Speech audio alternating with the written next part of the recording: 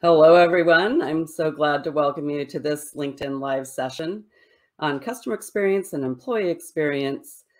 Which is first? Is it really a chicken and the egg situation? Most employees, when you ask them, would say, well, it's obvious. Employee experience is first. Only happy employees can create great customer experience. If you ask customers, they might say the opposite obviously customer experience has to come first.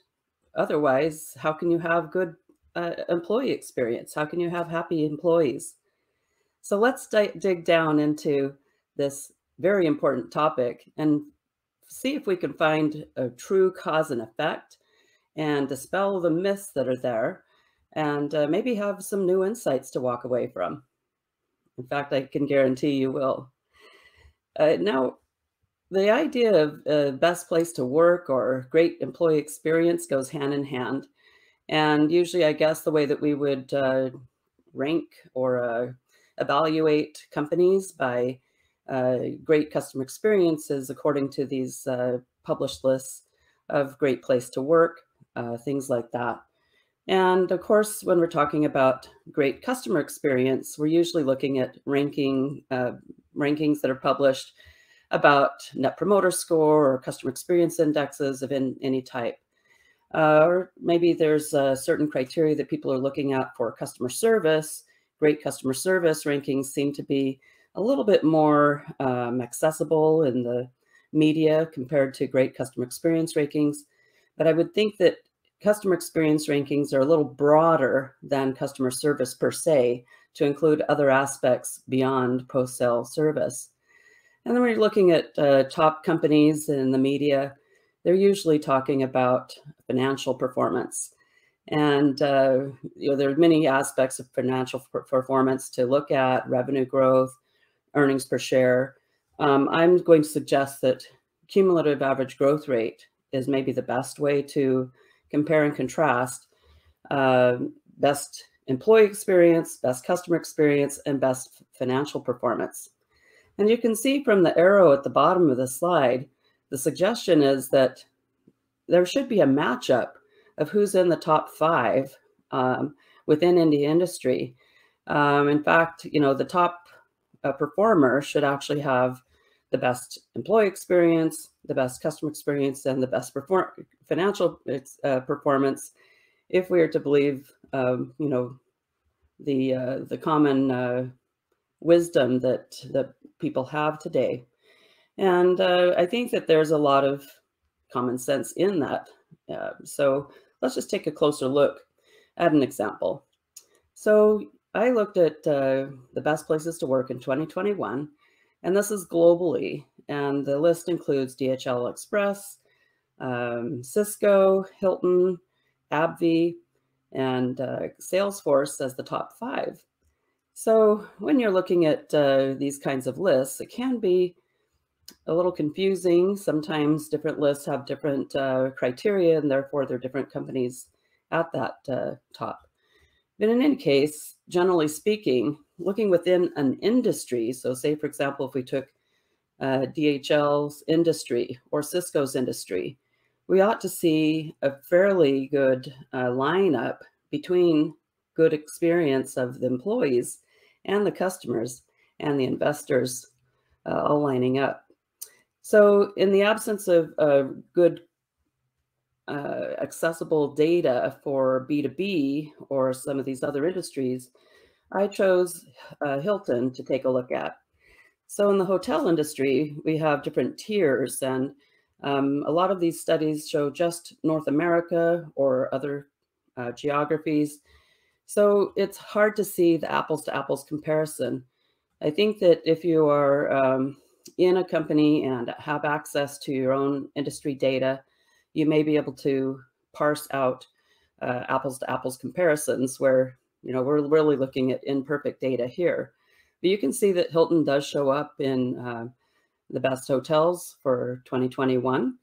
And of course, this is a tricky industry in 2021. I'll acknowledge that. But at any rate, it's good to see that there is a, uh, a, a, placement in the top five uh, for Hilton in both EX and CX. Now, when you look at the uh, growth rate, that's also representing Hilton in the top five. But because Hilton has been acquired by Marriott, then the waters are muddied. So if you're in an industry, I represent, I, I recommend that you uh, find the representative data uh, for geography, industry, and uh, so forth that matches apples to apples as much as possible across the best employee experience, best customer experience, and best growth rate and work from there. So I think that it's going to be quite an interesting thing to take a look at for each of you. But yet we don't quite see what is the cause and the effect just by looking at these lists. It's great to see Hilton showing up in all three columns, but did employee experience cause customer experience? Or did customer experience cause employee experience to be good? Or was it the fact that they're growing well and therefore they had the money to do the things that they want to do in employee experience and customer experience to a greater degree than their competitors have? Well, those are some big questions. Let's see if we can uh, figure it out. One of my favorite studies was uh, reported in this book called Firms of Endearment. And in this study, the researchers went to crowded places with people like college campuses, festivals, um, shopping malls, and so forth. And just asked people, what's your favorite brand? Which companies do you like the most? And here you can see a partial list of the top uh, performers in that particular study. Now, that next step that the researchers took was to compare the stock performance of these companies called the firms of endearment compared to the good to great companies. There was a book published in 2001 by Jim Collins called Good to Great, and it was uh, very much hyped in the business media. Uh, people just loved it because it showed which companies had really great uh, stock performance and therefore, you know, what kind of practices do they share? Now, the firms of endearment actually had a three to one ratio in performance compared to the good to great companies. So that really is eye opening. But even further, when you take the firms of endearment companies and compare those to the S&P 500, what we see there is that there's an eight to one ratio in performance. So the next step that the Firms of Endearment research team took was to find out what are the commonalities in the business practices among these firms of endearment. And I think it's so interesting that they said it's not just a matter of balancing the interests of employees and customers, shareholders, suppliers, the community. It's a matter of actively aligning them. Now, that's an interesting concept to what extent does your company actively align the interests of employees and customers together with shareholders, community, and suppliers?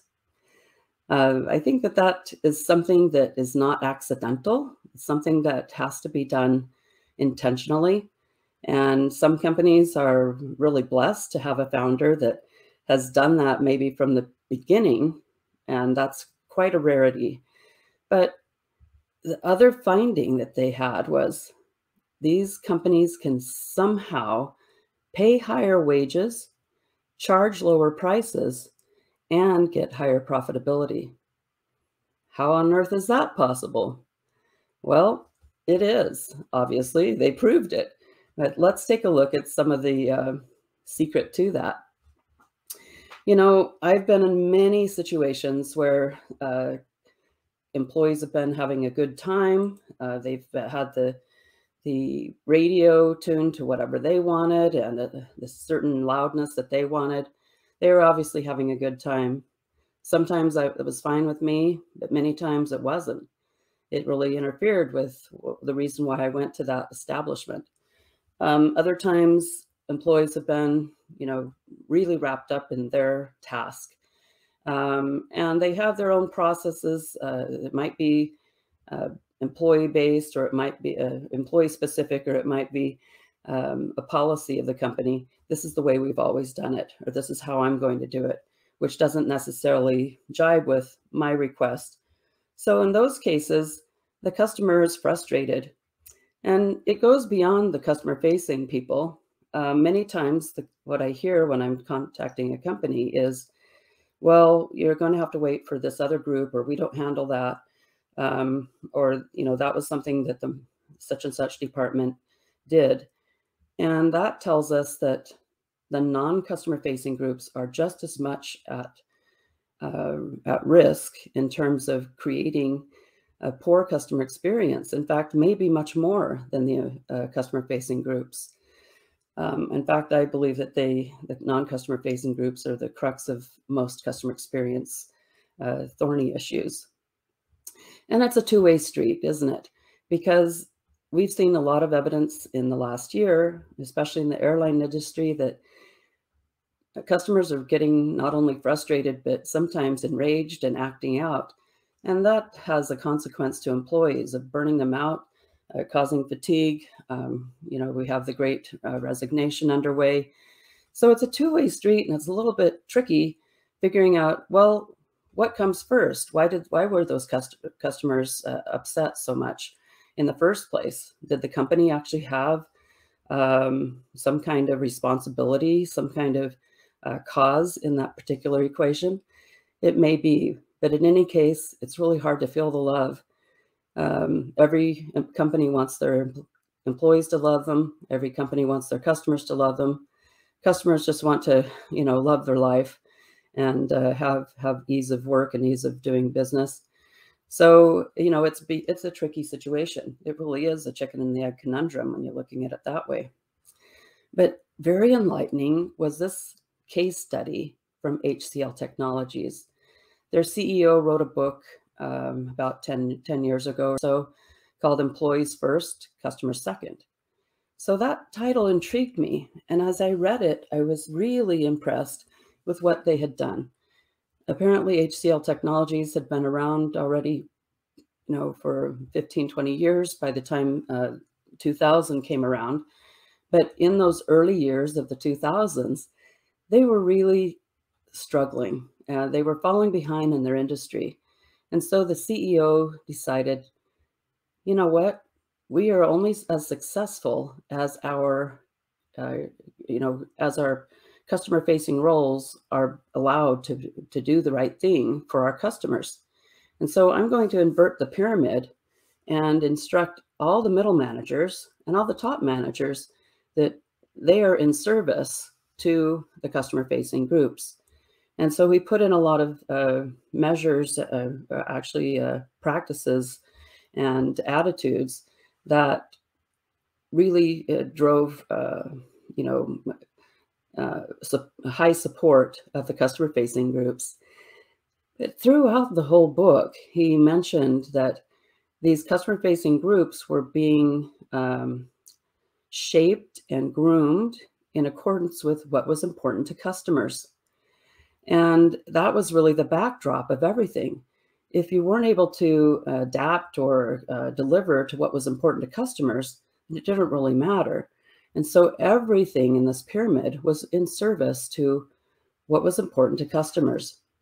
So I think that the title of the book is a misnomer, although it was, uh, you know, it's a very good case study and I recommend it to anybody because there's really gems of wisdom that you can pick up there. And when I first joined Applied Materials, a semiconductor equipment company, the thing that I saw in my payroll notice was your payroll dollars are provided by satisfied applied materials customers. That's a real reminder to everyone in the whole company, anyone who's getting a paycheck, that this inverted pyramid is really the success. Now, whether you actually manage your business, you know, with an inverted pyramid or not, really helping everybody understand that customers are the source of salaries, budgets, and dividends is a huge step forward to getting, uh, you know, the cart before the, the, the taking the cart before, you're putting the horse before the cart and uh, putting a stop to the horse before the cart. So, uh, you know, it's interesting to see what's happening in business today in terms of what is the purpose many, many years, um, I heard that the purpose of business is shareholder wealth. And I got my MBA in the 1980s, and I think that there was a tremendous amount of um, hype about company valuation, uh, stock, uh, shareholder uh, value, and such. And so we kind of lost our way. But it's interesting to note that Peter Drucker, who was a management guru and very well respected in the 60, 50s, 60s, and 70s, he wrote in 1966 The purpose of a business is to create a customer. He probably said it much earlier than that. And he also said that the aim of marketing is to know and understand your customer so well that the product or service fits him and sells itself. Now let's substitute customer experience in, in the place of marketing. If the aim of customer experience management is to know and understand the customer so well that the product or service almost automatically sells and you have almost automatic customer experience excellence. That's what we're really striving toward. And that, you know, there's a lot of truth in that. I'm really um, heartened to see that in 2019, the Business Roundtable, which is made up of several hundred uh, CEOs, uh, they put out a proclamation about the new purpose of business. And it's really circling back to what we already knew in the 1960s that the purpose of business is to benefit customers, employees, suppliers, communities, and shareholders. I find it very interesting that they um, list these stakeholders in that order. So I want to pause for a moment and just see some comments here. Um, I see uh, Tatiana R Ramirez says that um, the payroll is a practice that every company should apply, reminds who's paying Yes, because uh, when you feed the hand that feeds you, you can only be more successful. Um, we, we, welcome your further comments. If you'd like to share them, we'll uh, revisit in a, in a moment. Though customers, employees, and partners actually fuel a company's growth, there are no exceptions to that. You may be a, a, a nonprofit and say, well, it's our donors okay but you know at the end of the day um, are they your customers uh, they may you can view them as a customer set right but also the end uh, recipient of those donations must be uh, satisfied with how you are providing that uh, support otherwise there's really no need for those donations so think through um, kind of a russian doll um, uh, uh,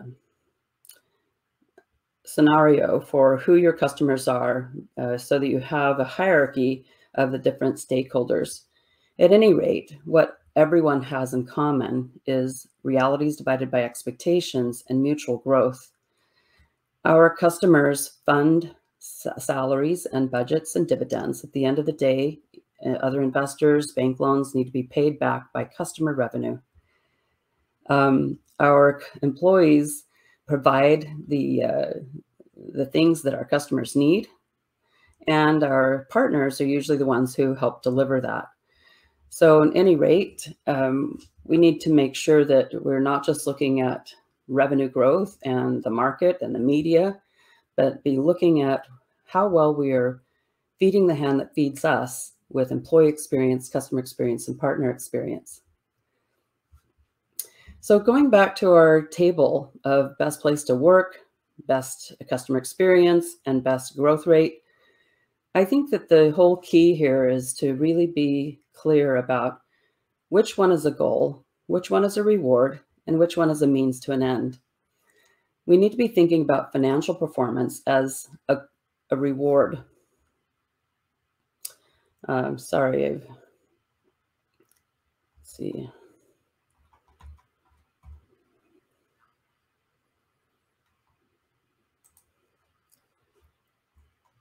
Sorry, Tatiana. I'm trying to see how. Okay, there we go. yeah, thanks, guys. I'm uh, still learning this this uh, technology. So if we're thinking about the financial performance as a reward, um, that means that that's what we get by meeting our goal. What is our goal? Great customer experience because we're trying to feed the hand that feeds them, feeds us. They're the ones who provide the money that makes the world go round for all the things we need. And how do we get there? By great employee experience. So, yes, you can say that it starts with employee experience and then goes to uh, customer experience and then financials. That's pretty obvious. However, there's a little more to it. What you want to do is you want to start out with who are your high potential customers? Who are your high potential employees? And who are your high potential partners? When you've decided who those people are, what type of characteristics they have, then that uh, guides your sales organization to seek out those types of high potentials. So you want to really stack the cards in your deck. And not only are you trying to attract those, but you're actually setting up your whole way of running the business accordingly by understanding what it is they want.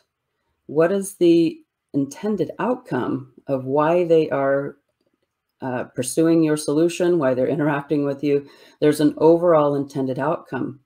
Now, that is not necessarily um, best measured by NPS or other customer experience index uh, or, or rankings of things like that. Um, intended outcomes are what the customer is trying to get done. The what is the employee trying to get done by being an employee? Um, what are partners trying to get done by being a partner? And when you really focus on what they're trying to get done, you will help them get that done. And therefore, your rankings will be high so that's a very important nuance that we are not really doing in common practice today. The same thing would happen for employee experience, but with a different layer. Here we're saying that the way that you hire employees should be in accordance with the intended outcome of your customers and your employees and your partners in combination, as we saw, being intentionally aligned uh, as, as, as pointed out by the firms of endearment. How you review your employees, how you develop them, how you reward them should all be in accordance with this North Star of customer experience. Because as you uh, get the right people in place and you uh, develop and reward them and review them uh, in accordance with that, then you're going to see that employees are happy it's not just a matter of setting up a daycare, bringing in uh, uh, dry cleaning services and so forth. There are many companies that do that that don't necessarily have a great employee experience or a great customer experience or great financial. We saw that in the dot-com bubble uh, in 2001, uh, the early late 1990s in Silicon Valley. Companies uh, pulled out all the stops. They had slides going from the second floor into the lobby. They had uh, ping pong tables, uh, bring your pet to work, all kinds of perks for employees. It was a very competitive hiring uh, market. And uh, it was really hard to, to hold on to employees because they would, you know, go to the next best offer. It was such a hyper competitive situation. But we know that that bubble burst. And so, um, you know, there's many examples of where it's not just a matter of tactics. It's really a matter of strategy, as I've laid out here. Let's just put this to test for a moment. Say, for example, you want to lose weight or you just want to be healthy. Um, the reward is having a, a, body mass index that is healthy for you in terms of uh, having less um, uh, less uh, illness, uh, less uh, uh, likelihood to get a disease, um, you know, just greater health. So you might have a longer lifetime, you might have a more enjoyable life and less costs in terms of things, uh, things going wrong, medicine and so forth. Now, the goal then would not necessarily be uh, number one, you know, high potential wellness. Your goal would be, I want to have a, a, high, a weight that is commensurate with my height and my age range. I want to um, have social ease with the body that I'm in. I want to have certain physical capabilities, like be able to climb the stairs or you know go on go to on some kind of uh, hike to, on a mountain or you know whatever your your hobbies are. So that those would be the type of goals that we're talking about. An intended outcome right? Your intended outcome is uh, is number two whereas the reward is number one there. And so what are you going to do to get there you're going to make sure you have the right amount of exercise sleep uh, a really good ratio of fats, carbs, and proteins in your daily diet. And you want to manage your stress. Any of those being out of whack can uh, wreak havoc with your fitness goals and your body uh, body mass uh, rewards. So think of other things like how you give advice to your um, your your kids, for example, who are struggling in school. You want them to have more opportunities because they have done well in school. That's in the far right column. And so in order to, uh, you know, you do well in school, that's in the far left column, you want to make sure that they, um, you know, know how to study, that they get a right, right amount of sleep, they um, can hear the teacher, they can see what's what's written on the chalkboard or, or whatever, you know. So it really, you know, take any kind of goal you have, any kind of quandary, you can find a correlation to this metaphor in these three columns. And by doing that, everyone's happy. we have not only happy employees, but happy customers and happy shareholders. So this is the recipe I think we need to be pursuing. It's not necessarily starting with employees and what makes them happy and assuming that that's going to make customers happy and then make shareholders happy. It's the other way around we need to take a look at which employee groups, customer groups, and partner groups will provide the rewards that we need because they are high potential in terms of what they're bringing to the party. Then find out what's important to them, focus on that, and make sure that what we're doing in employee experience is supportive of that 100%. Then the tactics that you bring in, such as dry cleaning services and such, you know, it's all ancillary, but the core has to be there. And as, if it is, you will see that it's not a chicken the egg quandary. It really is, is something that you can control and align. So just in closing, I want to say that uh, experienced leadership is a team sport. It really requires everyone, not just the customer facing people, the employee facing people, the partner facing people, it inquire, requires everyone to know their role and to pull together.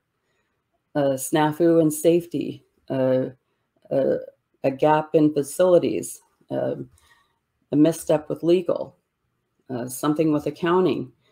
Any party within the ecosystem of your company can cause uh, problems for employee experience, customer experience, or partner experience. And so it's really best to educate them about that intended outcome, the, the, the high potentials, and to make that the North Star of every single group in your company. How do you do that? Well, take a look at our free advice on the Employee Experience Playbook, Partner Experience Playbook, Customer Experience Playbook, and Marketing Operations Maturity Playbook on clearaction.com. Attend my class on Fridays. It's starting here in about a half hour. Uh, every Friday, I have a 90 minute class for uh, executives and experts specifically. Experts meaning authors, keynoters, judges, thought leaders, uh, certified and longtime practice, practitioners or professionals of customer experience, employee experience, and partner experience. So uh, you'll learn a lot more in this class. It's chock full of things like this. But you can uh, complete it in the self-paced version in seven and a half hours. Um, likewise, we have very similar uh, content in our CCXP course. So if you're looking for certification or you're a beginner uh, or manager, an analyst, um, a designer, you might really benefit from our CCXP course, whether you're going for certification or not. You'll find these pearls of wisdom throughout. And finally, all of the above is available in our uh, Experience Value Exchange. You'll be able to work toward uh, badges for customer-centered action, enterprise use of insights, lifetime value mindset, motivated, uh, aligned motivations, consistency to intentions, and um, respecting interdependencies. So the last three there are really about ease of work. And the first three that I mentioned are about ease of doing business. So you can get your whole department on par with excellence in these areas, being able to drive the uh, adoption, uh, what I call absorption, adoption, and, and uh, application of customer insights by all functional areas in your enterprise.